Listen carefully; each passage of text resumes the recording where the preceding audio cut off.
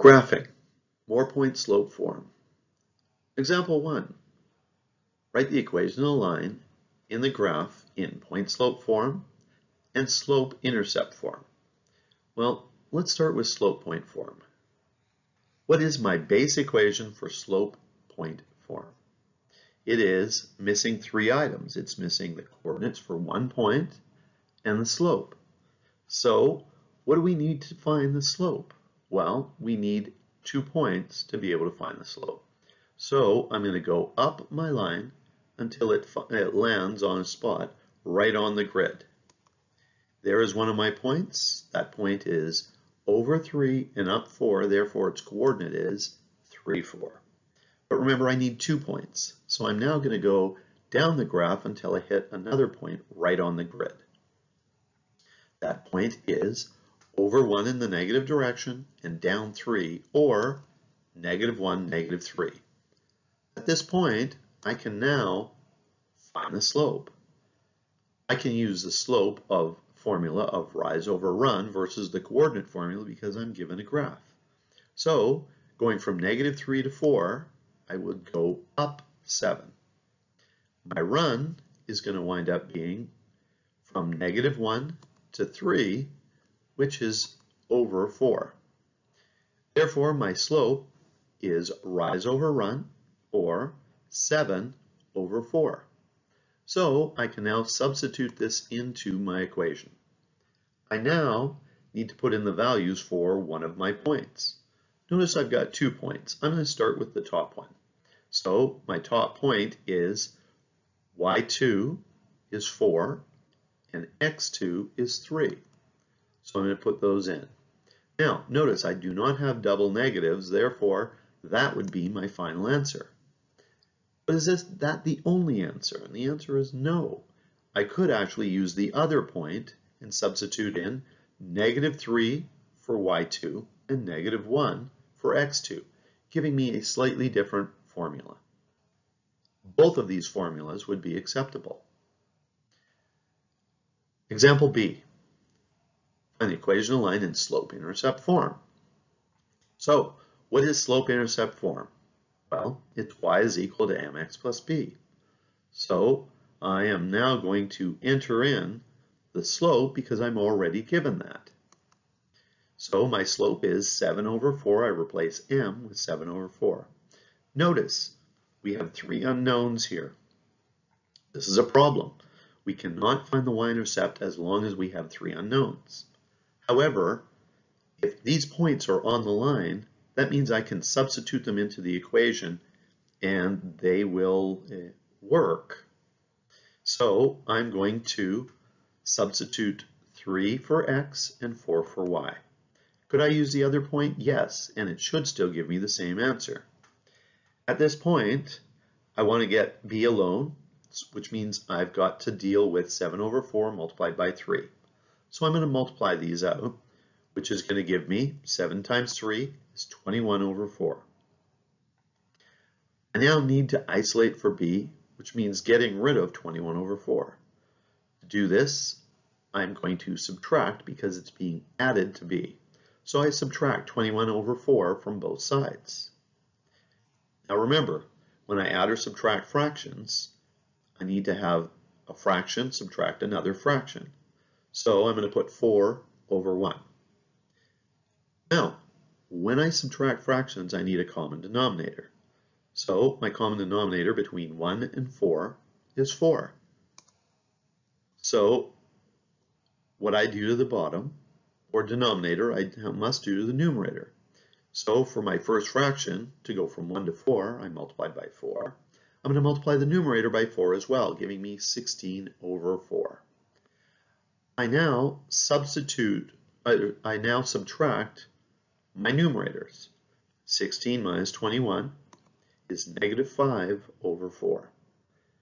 I'm ready to write out my equation now. I have both y-intercept and I have slope. So my equation is going to be y is equal to 7 over 4x minus 5 over 4. And that would be my final answer. Example 2. Jerry is working on an experiment where he measures the volume of a mystery liquid versus the mass. He records the following.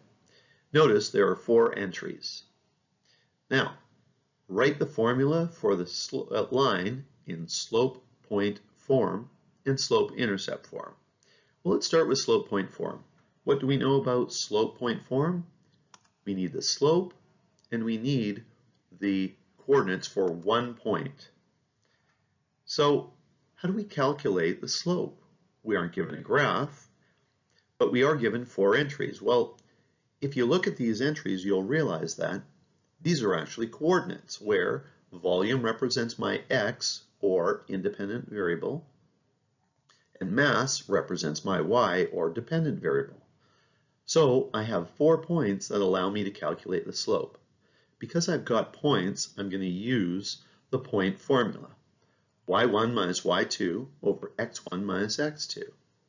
Now, which, for, which two points should I use? Well, the answer is you can use any of them and you should get approximately the same answer. I've decided I'm going to work with the first two because I think they're the easiest to work with. So my y1 is going to be 71, my y2 is going to be 91. My x1 is going to be 0 because it matches up with 71 and my x2 is going to be 50. When I subtract these, 71 minus 91, I get negative 20. 0 minus 50, I get negative 50. I recognize that I can simplify this. A negative divided by a negative is positive, and 20 over 50, I can take a 10 out, giving me 2 over 5. So I write out my slope point formula where I've inputted 2 over 5 in for m. Now, I need to fill in the values for one point. Notice I've got four points, so there could be four different answers for this equation. I've decided I'm going to work with the second point. I'm going to input 91 for y2 and 50 for x2. Now, you can use any one of these four points, but the values have to come from the same point. So that's my answer, although you could have gotten three other answers. All right, let's move on to slope-intercept form. Now, what do we know about slope-intercept form? It's y is equal to mx plus b. So, first of all, what do I know? I know m, or slope, is 2 over 5. So, I can fill that in, replacing m with 2 over 5. But now I need to find b, or my y-intercept. Now, do I need to do the same thing I did in the previous example? Well, what do we know about the y-intercept? Well, we know the y-intercept is the point where my line crosses the y-axis. On the y-axis, all x values are 0. Therefore, if I have an x value of 0, the matching number has to be my y-intercept. Look at my first point it has an x value of 0. That means that its matching y value has to be my y-intercept. So I don't have to do the work.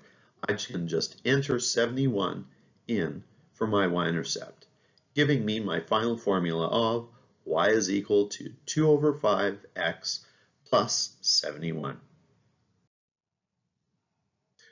Example 3, perpendicular and parallel lines.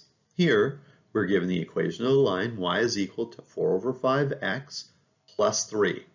And we're asked to write the equation of the line in slope point form, that is a parallel to it, going through the point negative 4, 5, and b perpendicular to it, and going through the point 2, 3.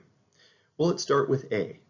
First, I write out my base equation. Notice I've got three unknowns, y2, slope, and x2. First thing I need to know is what is my slope? Well, this line is parallel to the original line. What do we know about parallel slopes? They are the same. Therefore, if my original slope is 4 over 5, then my new slope is also 4 over 5. Now, I need to enter the values of one coordinate. They've given me that coordinate, so I can enter in 5 for y2 and negative 4 for x2. Notice my x values have that double negative. I can simplify this to x plus 4, giving me my final answer of y minus 5 is equal to 4 over 5 multiplied by x plus 4. Now it's very important that you don't forget both brackets in the x value, an opening and a closing bracket. Question B, I need to create a line, equation of a line that is perpendicular to my original line and going through the point 2, 3. So again, let's start with my base equation. Notice I've got three unknowns, the coordinates for one point and my slope. Let's address the slope first. My original slope is 4 over 5, but I want to know the slope of a line that is perpendicular to this. So what do I know about perpendicular slopes? They are opposite and reciprocal. The opposite of 4 over 5 is negative 4 over 5. The perpendicular, or sorry, the reciprocal of 4 over 5 is flipping 4 over 5 or 5 over 4. So my perpendicular slope is going to be negative 5 over 4. So I enter this in replacing m. Now I need to input the values for a single point. They've given me the point 2, 3. So I'm going to replace y2 with 3 and x2 with 2. Notice I don't have any double negatives, which means that I can just write out the answer as is, and that would be my final answer.